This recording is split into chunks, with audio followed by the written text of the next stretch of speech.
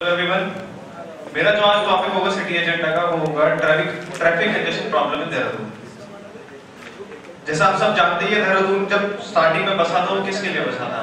यहाँ पे खाली पेंशनर्स आते थे या फिर लोग घूमने आते थे? नेचुरल ब्यूटी के यहाँ पे जो मेन फ़ेमस था, उसी के लिए था।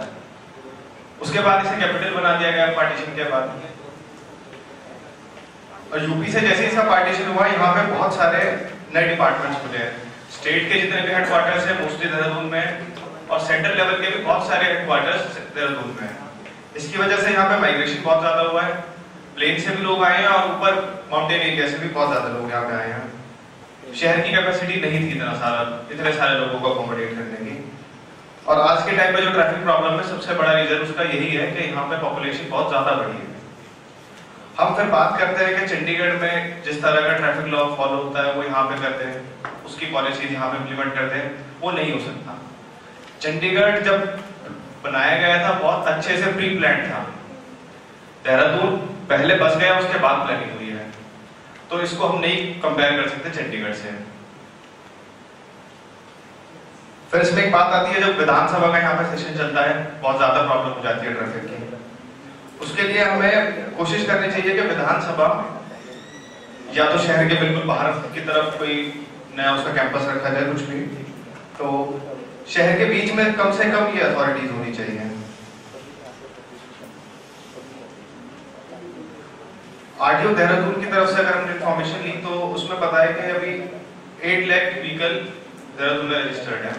और जबकि यहाँ की पॉपुलेशन 2011 में 16 लाख थी तो व्हीकल बहुत ज़्यादा है अभी यहाँ पे। तो इसके लिए अगर हम सोल्यूशन की बात करें तो सबसे ज़्यादा यहाँ पे जो ज़रूरत है वो है पब्लिक ट्रांसपोर्ट को बढ़ाने की कार पुलिंग को एनकरेज करने की यहाँ पे ट्रैफ़िक पुलिस की बहुत ज़्यादा कमी है तो हम कोशिश करेंगे कि यहाँ पे वॉलेंटियर्स एक ग्रुप बनाए, या तो एनजीओ हो या फिर सेल्फ हेल्प ग्रुप हो, जो मॉनिटर करें ट्रैफ़िक मैनेजमेंट में, पुलिस के साथ मिलकर अभी ट्वेंटी फिफ्थ वेब को यहाँ के डिस्ट्रिक्ट मजिस्ट्रेट का प्रपोजल आया था ऑड इवन मैनेजमेंट के लिए कि ऑड इवन रूल यहाँ पे भी इम्प्लीमेंट किया जाए। लेकिन फिर उसके बाद जब उसके ऊपर काफ़ी सारी सोच हुई तो उसमें पता चला कि यहाँ पे जो पुलिस का मैनेजमेंट है, बहुत कम है। एक पुलिस ऑफिसर है फोर्टीन हंड्रेड सिटीजन के लिए तो वो मैनेज नहीं कर पाएँगे।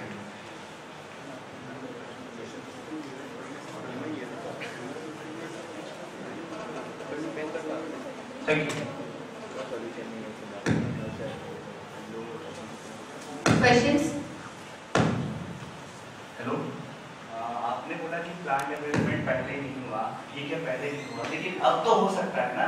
अब जो हम डेवलपमेंट कर रहे हैं जो भी रोड बना रहे हैं ओवरब्रिज बना रहे हैं। अब तो कर सकते हैं ना। आप पहले की बात नहीं बजट की बात करो ना। पहले क्या हुआ नहीं हुआ उस वाले बात। ठीक है सर सवाल आपका बिल्कुल सही है सवाल क्या है? सवाल सवाल है कि अब क्यों नहीं हो रहा है? अब क्यों नहीं प्लान डेवलपमेंट हो? रहा है? मेरा ये है। सर क्या आपको लगता है कि यहाँ पे जैसे आपने बल्ली वाला फ्लाईओवर अभी बना हुआ देखा है? हाँ, वहाँ पे फोर लेन बनना चाहिए था वो हाँ। जगह है नहीं वहाँ पे। टू लेन से काम चलाना पड़ा है। अगर आप हर जगह सड़क चौड़ी करने की बात करेंगे तो पॉसिबल नहीं है। पहले घर बने हुए हैं। One question. And votes for